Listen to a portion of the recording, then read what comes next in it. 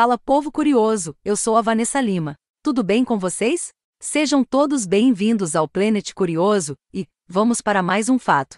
Roberto Gomes Bolanhos publicou na década de 90 um livro revelando um dos maiores segredos do carismático personagem Chaves. A série foi uma febre na televisão brasileira desde os anos 70. Chaves é um programa mexicano de grande influência e impacto na cultura do Brasil. A história de um menino órfão que dorme em um barril dentro de uma humilde vila, apesar de morar em uma casa nunca mostrada durante a produção.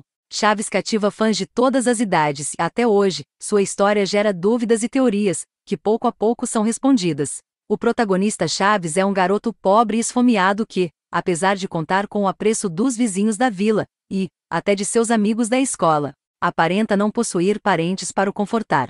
As marcantes atuações do programa são todas feitas por adultos vestidos de crianças que não parecem se preocupar tanto em deixar isso claro. A importância. Criado por Roberto Gomes Bolanhos, o humorista mexicano trabalhava escrevendo pequenas cenas de comédia para televisão e teatro de seu país.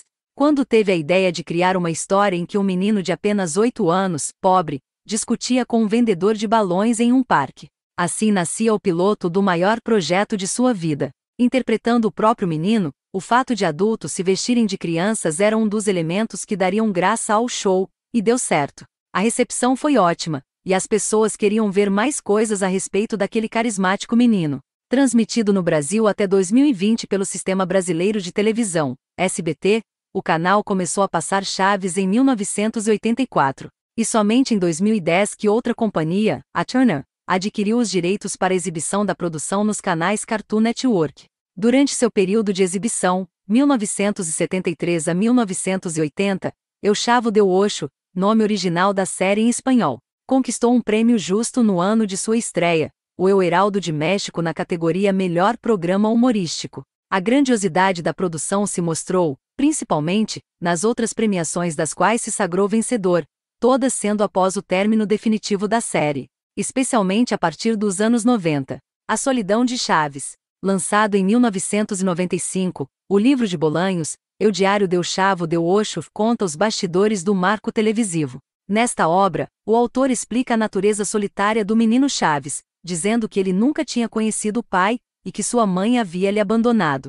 Sem um pai para ajudar no sustento da casa, Chaves passava o dia em uma creche enquanto sua mãe ia trabalhar, e ela voltava ao final do dia para ficar com ele. Apesar da realidade difícil, a série tem um ar cômico, e isso foi passado por Roberto na história do protagonista também. Ele afirma que, por conta do cansaço, sua mãe chegava do trabalho na creche, e nem fazia questão de perceber qual era a criança que estava levando. Simplesmente falava para pegar o menino que estivesse mais perto. O livro é narrado por Chaves, que explica a sua história vista milhões de vezes por todo mundo.